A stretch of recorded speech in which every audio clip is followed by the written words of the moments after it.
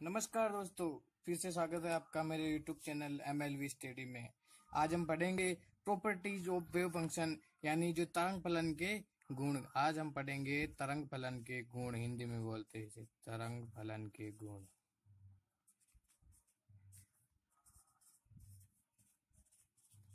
तो दोस्तों, तरंग फलन के बारे में हमने पिछले वीडियो में देखा था। तरंग फलन क्या होता है? प्रायिकता घनत्व क्या होता है? और नॉर्मलाइजेशन फ़ंक्शन यानी कि सामान्यकृत क्या होता है? ये सब हमने पिछले वीडियो में देख लिया था। तो आज हम बताएँगे कि तरंग फलन के प्रॉपर्टीज़ इसमें फ़र्स्ट प्रॉपर्टी ये होती है तरंग फलन की कि जो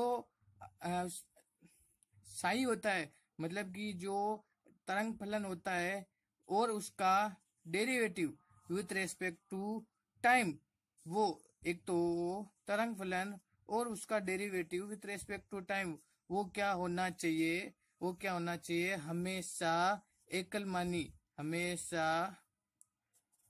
एकल मानी, यानी कि सिंगल वैल्यूड होनी चाहिए। सिंगल वैल्यूड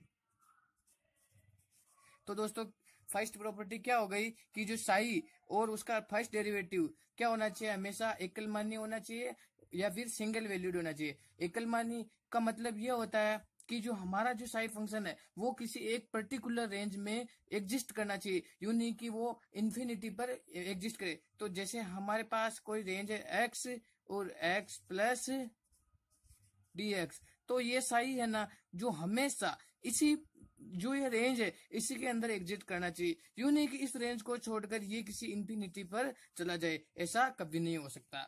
इसका दूसरी प्रॉपर्टी ये होती है कि दोस्तों, जो ये साई एक तो वेव फ़ंक्शन और उसका फ़र्स्ट डेरिवेटिव वो क्या होता है? हमेशा स्क्वायर इंटीग्रेबल होता है। क्या होता है दोस्तों? Square integrable I N T G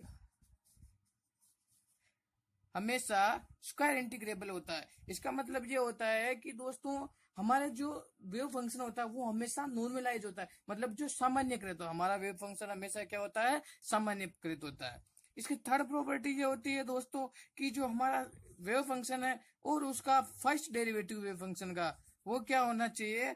हमेशा कंटिन्यूस होना चाहिए। हमेशा C O N T I continuous मतलब हमारा जो वेव फ़ंक्शन होना चाहिए, वो हमेशा सतत होना चाहिए। यहाँ पर कंटिन्यूस का ऐसे यहाँ से है कि दोस्तों, हमारे पास जो वेव फ़ंक्शन है, उसकी प्रोबेबिलिटी डेंसिटी वन होती है तो हम उससे प्रोबेबिलिटी डेंसिटी का भी पता लग सकता है पता लगा सकते हैं। मतलब कि उसके प्रायिकता घनत्व का पता लगा सकते हैं।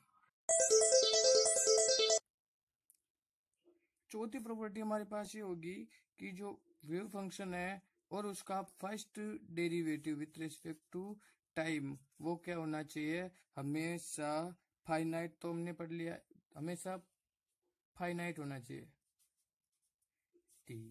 ठीक है दोस्तों, ये हो गया हमारे सारे प्रॉपर्टीज़ वेव फ़ंक्शन के, और इसके अच्छे से नोट्स में लिख भी रखा है, वो आप देख सकते हैं। ये देखिए फ़र्स्ट है साई और d psi by d t should be finite हमेशा फाइनाइट होने चाहिए। सिंगल वैल्यूड होने चाहिए, सतत होने चाहिए, इंटीग्रेटर होने चाहिए। ठीक है दोस्तों, बाय बाय, अगले वीडियो मिलते हैं।